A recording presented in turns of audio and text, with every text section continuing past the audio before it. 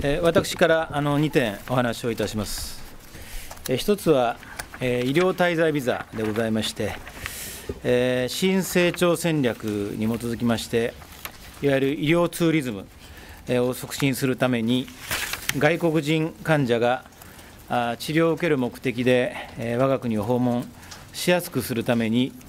医療滞在ビザを創設いたします。2011年1月から運用を開始をいたします。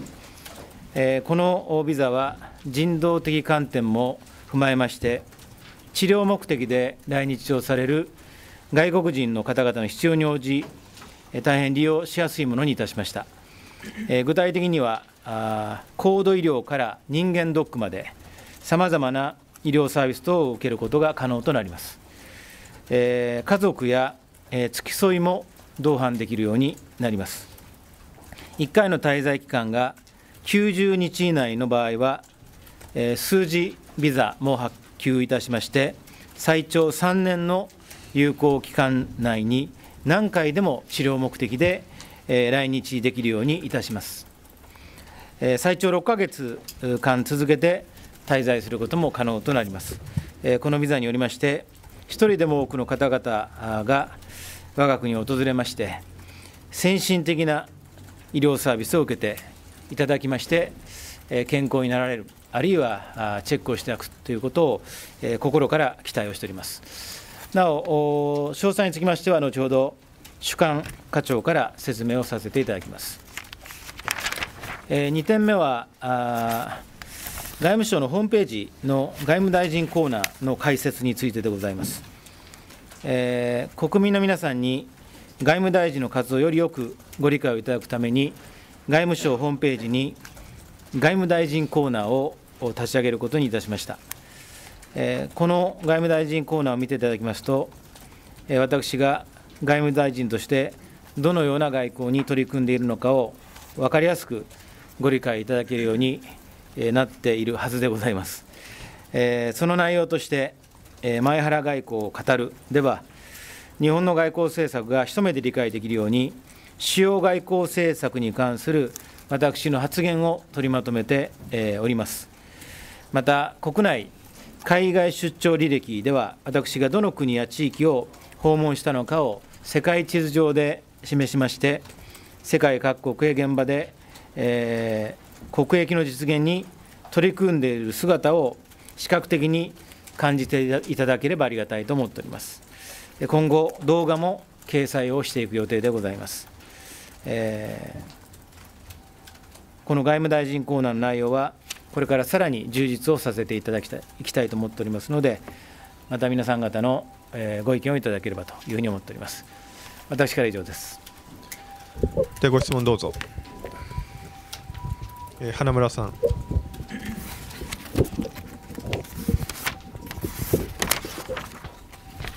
テレビ朝日の花村です。えーと、沖縄に関して伺いたいんですが、はい、えー、まあ、菅総理が今、沖縄を訪問されてますけれども、えー、まあ、この後、えー、馬淵国交大臣、馬淵えー、沖縄担当大臣ですね、あと北沢大臣や、あと前原大臣も沖縄に行かれることになると思いますが、はい、えー、まあ、官邸での、えー、この閣僚の話し合いの中で、まあ、あの皆さん言っても、それぞれ、まあ、役割とかですね目的があると思いますので、どういったそれぞれの、えー、立場、立場で、どういうふうにして沖縄とえー、接点を持っていこうとされているのか教えてください。はいえーまあ、共通しておりますのは、まずはあ昨年の8月の総選挙で、えー、沖縄の皆さん方には、普天間の代替施設案につきまして、えー、少なくとも県外、えー、できれば国外と言いながらですね、まあ、結局5月の28日の日米合意では、辺野古に戻ってきたというお詫びをやはり、えー、皆が行うということが大事だと思いますし、また野党ではありましたけれども、えー、沖縄が日本に返還されて以来、えー、日本の国土の面積の0.6%の沖縄県に、米軍施設区域の約75%が集中をし続けているということに対するお詫びもしっかりしていきたいと。そして、えーまあ、特に私外務大臣としては、この、まあ、今74%ぐらいですけれども、この負担軽減に向けて努力をしていくと、そして今回の日米合意というのは、まあ、名護には新たな施設をお願いをすることになるけれども、特に嘉手納以南においては、相当程度の、施設区域の返還につながっていくと、また海兵隊の8000人、家族を入れると1万7000人がグアムに移転をすることによって、負担軽減にもつながるし、また普天間飛行場の跡地利用も国がしっかりと、えー、関わっていくことによって、沖縄の発展にもつながっていくと、まあ、こういったことをご説明をしていきたいと思います。また今、ダイバートの問題とか、あるいは地位協定に関わるさまざまなご要望というものを、まあ、いただいておりまして、まあ、それについて、えー、現地の米軍の担当者と話をする中で、沖縄のご要望というものもしっかり伝えて、できる限りの負担軽減を行っていくということも、外務大臣としての役割の一つではないかと、このように思っております。まあ、馬淵大臣につきましては、えー、特に沖新があ来年で切れますので、えー、新たなあ沖縄振興計画、ポスト沖新というものをしっかりと中山知事はじめ首長さん、県民の皆さん方のご意見を伺ってですね、えー、作るということが大きな仕事になるんではないかと思っておりますし、えー、いずれにしても基地の負担軽減と沖縄の自律的な経済発展、まあ、これを車の両輪として、えー、関係閣僚が沖縄に赴いて、その決意をしっかりとお伝えをし、ご理解をいただくために、努力をしていきたいと考えております。では関連したご質問のある方、はい、そちらの方。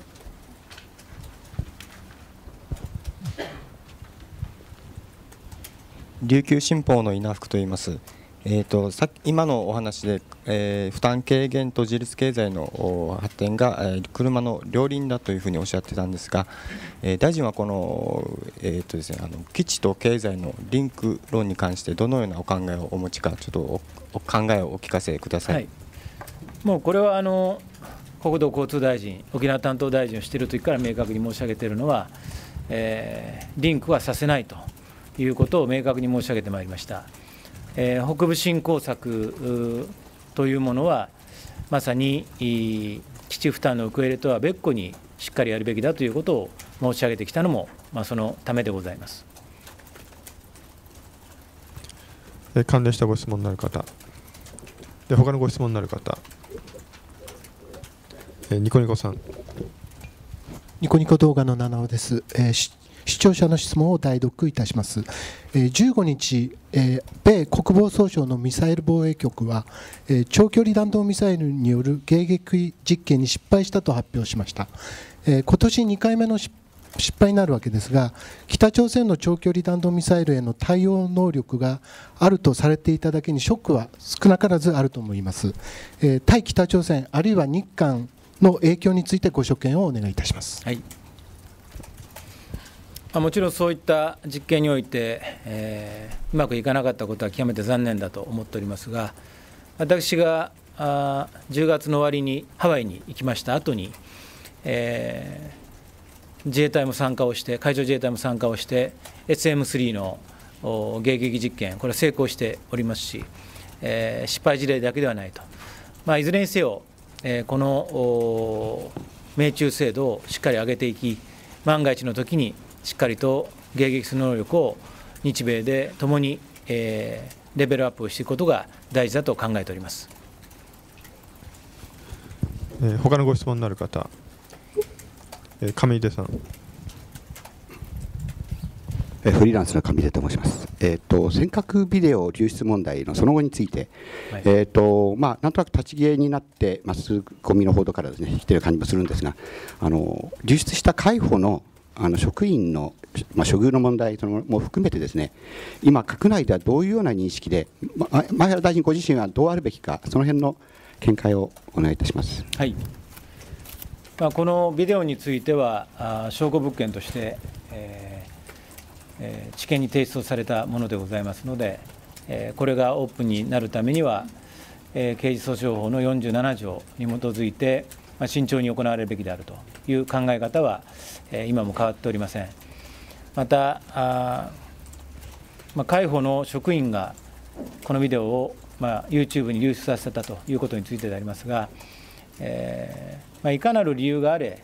えー、自らが持っている内部情報というものを許可なく出すということは、これは現に慎まなければいけないということで、何らかの処分が必要だと思いますし、まあ、そのような処分がなされたんではないかという認識を持っております。えー、他のご質問になる方、はい、出口さん。共同通信の出口です、えー、先週の日米韓外相会談で、はい、えー、6カ国協議再開に向けた、えーまあ、条件といいますか、はい、で、えー、一致されましたが、昨日、北朝鮮の外務省が、えー、そういった、まあ、条件を飲む形での開催には応じられないという、えー、談話を発表しました。えー、次の、えー、一手として、えー、外相の頭の中にはどういったことが、えー、考えておられるでしょうか、北朝鮮の核問題進展にあたって。はいあの5つという数字は申し上げたあの覚えはございません。また、アメリカのクローリーさんがおっしゃっている中身は、あの条件ではあのありませんので、えそれはあのぜひ皆さん方にもご理解をいただきたいというふうに思います。まあ、いずれにいたしましても、我々は、えー、農地空欄、あるいはヨンピョンドへの砲撃については、えー、あってはならないことであり、えー、抗議をしているわけでありまして、えー、大事なことは、北朝鮮自らが約束をした2005年の6者協議の共同宣言、これを真摯に履行するということが大事でありますので、それをしっかりと日中韓、あ日米韓3か国だけではなくて、中ロも含めた5か国で北朝鮮に対して求めていくという外交を今後も引き続き行ってまいりたいと考えております。えー、関連してご質問になる方、はい、ニコゾさん。すみません。あの先ほどの今の質問とですね、あの先ほどの、えー、ミサイル実験失敗にも含めてなんですけれども、あの先日その民主党政権としまして初の策定となった防衛大綱と、はい、えー、中規模なんですけれども、まあ、あの防衛予算についてはほぼ現状維持という形になりましたが、はい。まあ、いろんな問題も含めまして東アジアの地域情勢が不安定な中ですね、えー、計画の中身も含めこれについての大臣のご所見を評価といいますか、はい、ちょっとお聞かせいただければと。おそらく自民党政権下ではなかったことだと思いますがこの防衛大綱をまとめるにあたりまして、関係4閣僚会議というものを何度も何度も開きました。まあ、私も含めて、え、官房長官、防衛大臣、そして財務大臣、え、何度も行いまして、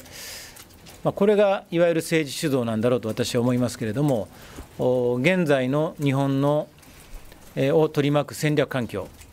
そして、え、今後10年間がどう変化をしていくかと。まあ、いうことを踏まえて、我々としては、基盤的防衛力から動的防衛力と、そして、えー、南西により力を入れていくということと、まあ、自衛隊のいわゆる高齢化というものが進んでおりますので、そういう人的配置の変えるとか、あるいは外交安全保障、国家戦略をしっかりと関係閣僚間で、えー、議論できるような新たな組織を官邸の中に、えーまあ、今の安全保障会議をしっかりとレビューしながら考えていくということ、あるいは PKO55 原則の見直しと、さまざ、まな観点での私は前向きな取り組みができたんではないかと思っております。それと同時に、まあ、民主党政権というのは、防衛政策、何なんだということがよく言われておりましたけれども、まあ、今回は党の議論も踏まえてまとめたものでございまして、いわゆる今回の防衛大綱の中身が民主党の防衛政策の中核になっているということを国民にお示しできるんじゃないかと、まあ、そのように考えております。え、では関連した、えー、ご質問のある方、えー、斉田さん。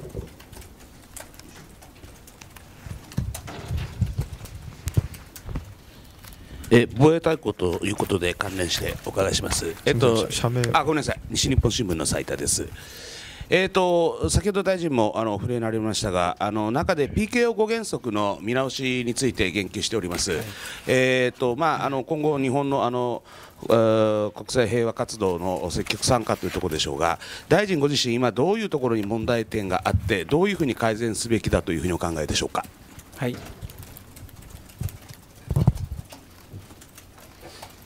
まあ、これは防衛大綱に書かれているように、PKO 5原則というものを、まあ、しっかりと検討する、在り方を検討するということで、ありまして、関係、省庁の副大臣が中心となって、今も議論していただいておりますので、ま、その点についてしっかり議論していただきたいと、ま、このように思っております。まあ、私の問題意識ということで、えお尋ねでございましたけれども、うん。まあ、この PKO5 原則についての、例えばあ武器使用基準というものについて、まあ、今まで見直しは何度か行われてきているわけでありますけれども、まあ、果たして、えー、不妊を命じられた自衛官が、えー、その場で安全を確保できるような、あるいは任務が遂行できるような武器使用の基準であるかどうかということも含めて、議論をされることが望ましいと考えております。では防衛大綱に関するご質問の方、えー、永井さん。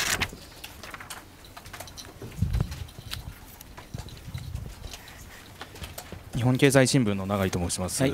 えー、防衛大綱についてなんですけれども武器輸出三原則の明記が見送られました、うん、あの関係4閣僚会合でも党の方でもですね武器輸出三原則の見直しを明記する方向でまとまっていたものが、まあ、社民党への配慮で今回明記がされなかったと。いうことについて大臣はどう受け止めていらっしゃるでしょうか。はい。まああのー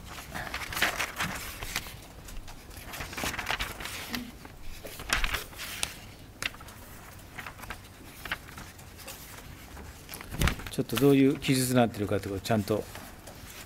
見た上で。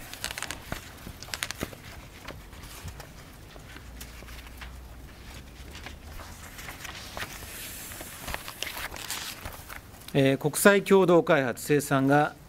主流となるなどの防衛装備品をめぐる国際的な環境変化に対する法則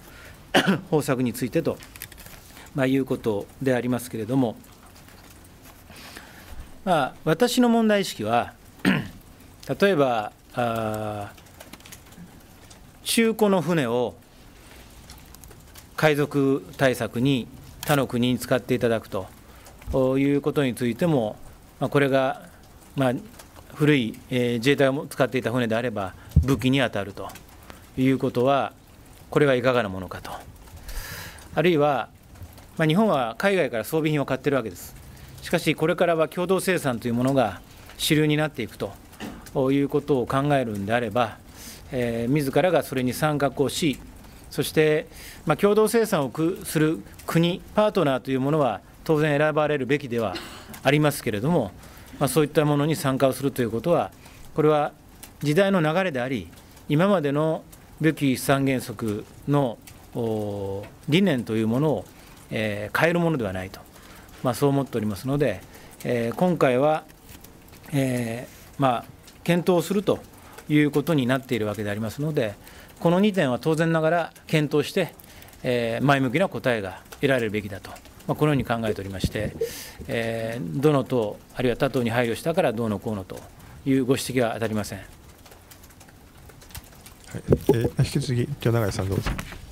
日経の長いです、はい、関連してなんですけれども、あの今、日米間で同盟進化策を協議しておりまして、その中で、まあ、そのアメリカ側は v 輸出三原則についても、まあ、求めていたかと思うんですけれども、それに今回、同盟進化策への影響について、武器輸出三原則の明記が見送られたことについてのですね影響について、えー、お願いいたします。あのまあ、今後の可能性ということについて言えば、先ほど申し上げたように、世界の流れというものは、あ技術を持っている国々が知恵を集めて、そして共同開発をして、より良いものをより安くという方向性は、これはもう私は時代の流れだと思っておりまして、その方向に向かっていくことは大変大事なことだと考えております。もちろんその際のいくつかの条件というものももちろんつけなくてはいけないと、まあ、そのように思っておりますけれども、まあ、その意味において、じゃあ、今、具体的に日米間で差し迫ったものが目の前にあるのかどうなのかといえばですね、えーまあ、今後の課題としてはありますけれども、例えばミサイル防衛のノーズコーンなんていうのは、これは官房長官談話で例外にして、えー、共同生産を行ったりしているわけでありますし、あるいは戦闘機をじゃあ新たにアメリカが作る予定があるかといえば、まあ、今は F35 というものを、彼らはあのアメリカが作っているわけでありまして、そういう意味においては、何か具体的なあ装備というものが念頭にあるかと言われば言われれば、私はあのそれほどお、まあ、目立つものはないというふうに思っております。従いまして、今後の検討課題として、えーけんまあ、検討すると、この防衛大綱に書かれているわけですから、えー、具体的なニーズが生まれてきたときに、しっかりと議論して、結論を出し、国民にしっかりと説明をしていくということが大事なことなんではないかと思います。関連したご質問になる方、えー、上出さん。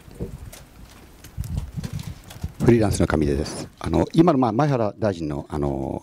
理解は、まあ、それはそれで分かるんですが、民主党が国民から選ばれた背景のもとには、自民党と比べて、いわゆる平和志向というか、そういう部分もあるかと思うので、ちょっと意外なあ受け止め方をしている国民も多いんじゃないかと思います。特に物資武器輸出産業則というのは自民党でも変えられなかったものそういうことに対して国民とのギャップというのをお感じになりませんでしょうか？あの国の根本というのは憲法があってですね、えー、3本柱があると基本的人権国民主権とか平和主義とで平和主義の中に我々は政策を作っていくわけであってしかしそのもちろん大きな枠の中に入っていることは当然大事なことでありますけれどもそれと同時に時代は変化をしているということもしっかりと受け止めなければいけないと思っております。私はですね、まあ、自民党と民主党の違いということで、自民党が、まあ、よりその平和ではないみたいな言い方で、民主党が平和志向だと、これは両方平和志向であるべきだというふうに思っておりますし、えー、外交安全保障の基本的な考え方は、私は政権交代によって大きく変わるべきではむしろないとそう思っております。えー、やはり国家の根幹に関わるところは、お互いが共通の価値観をを共有して、そして政権交代があっても、えー、その軸は大きくぶれることがないということが大事でございますし、我々民主党政権になってからも、そういう意味で外交政策や、あるいは防衛政策の根本が、えー、基本から変わる、例えば日米同盟が基軸であることが変わるとか、そういうことはありえないわけでありますので、そういう意味では、同じ価値観を共有しながらも、時代の変化に対応することができる党が国民から理解をされるし、またそのためにしっかりと我々は説明責任を果たしていくということが大事なことなんではないかと思っております。では他のご質問になる方、えー、向井さん。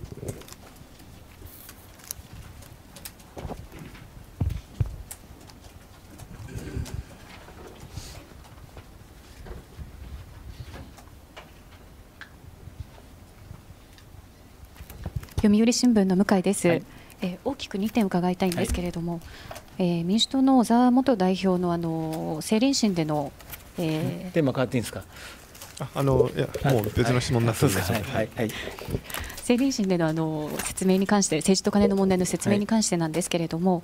はい、あの本日小沢氏側がですね、えー、岡田幹事長に文書で、まあ、あの出席を拒否する旨をお伝えになりましたまず1点目この辺の受け止めをお願いしたいのとあと岡田幹事長はですね政倫審でのその説明を議決で目指す方向という意向なんですがこれをこれについてですねその小沢氏を支持するグループからは、まあ、党を二分するようなあの行為だと批判も出ています。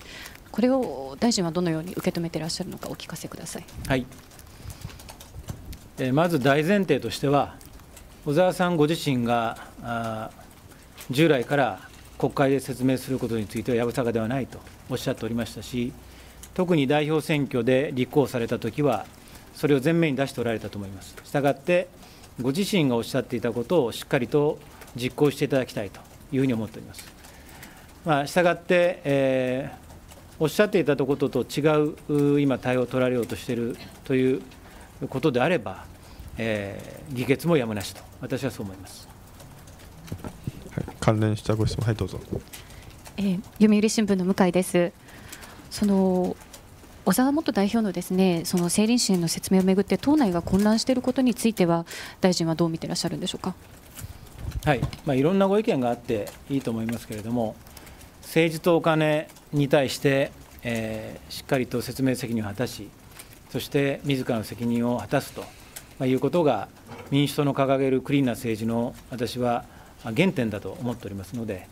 ぜひ小沢さんもその責任を果たしていただきたいと、そう思います。はいえー、関連したご質問のある方、えー、吉岡さん。あ時事通信の吉岡ですあの今の小沢元代表とですねあのの、まをめぐる対応で党内が混乱しているということを背景にですねあの弊社が、えー、本日発表したその官内閣の支持率ということがですね前月比6.8%減の21%で、まあ、過去最低になったと。で一方であの政党支持率がですねトップが自民党になりまして17.8%で民主党は、えー、4ポイント離されて13.8%とどまったと。こういう結果が出てまして、まあ、あの続落傾向歯止めが止まらないという状況なんですが、えー、これにこういうことについての受け止めをよろしくお願いします。まあ、我々与党ですので、政策遂行、実行によって、国民の皆さん方に評価をいただくということと、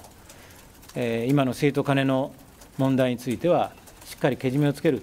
自ら律する事業能力があるということを示すとまあいうことにおいて、国民の理解を得ていくしかないと、そう思います。時間都合がありますが、最後のご質問にしたいと思います。えー、っとでは、橋本さん。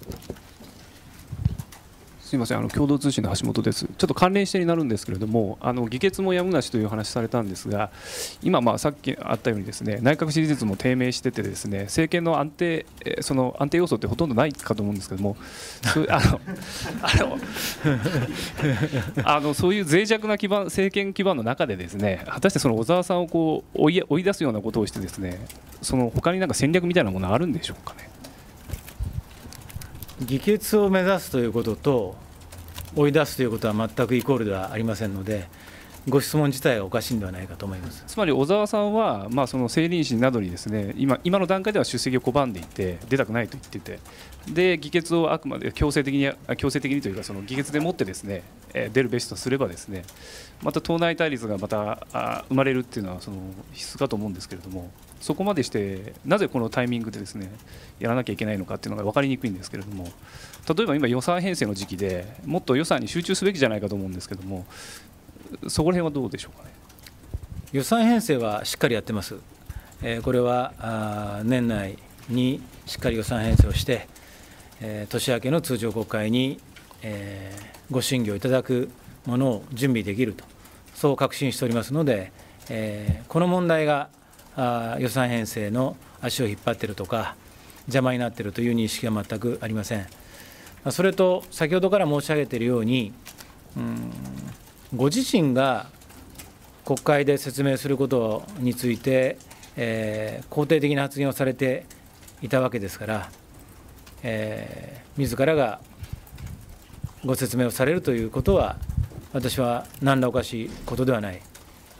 党としてそれを推し進めて、党としてのけじめをつけようと考えることはおかしなことではないと、そう思っております。えっと、時間ですが、よろしいですか、はい、じゃあす、すみません、本当に最後の質問で、野口さん。あ日本テレビの野口です。あの今の質問に関連してなんですけどもあの小沢代表元代表がそのまあ国会が決めればというふうに言っていたのは確かその代表選のあたりに一番言っていてその頃はまだその強制起訴が決まっていなかった時期だと思うんですね。ですのでその前提が変わってると思うんですよ。その強制起訴が決まった今となってはそのまあ今日文書で出した理由に関してもその裁判にあのまあ、今後出ていく身でからという趣旨なんですけれども、まあ、その理由でその政倫審にも出ないよということなんですがこれはこれでその、まあ、辻褄が合っているような気がするんですけどどうでしょうか？うんまあ、辻褄が合っているかどうかを判断されるのは国民だと私は思いますね。もちろん司法の場でしっかりと自らの無実をおっしゃることはあの大事なことだと思いますけれども、えー、国会議員として、えー、そういう疑惑を持たれた議員については、自ら進んで、えー、話をするということが、もともと政治倫理審査会の趣旨だと思いますので、えー、それは私は、えー、強制起訴されたからという理由は、おそらく国民の皆さん方には、なかなか理解をいただけないのではないか、そう思います。えー、では、時間となりましたので、以上で記者会見を終わらせていただきます。ありがとうございました。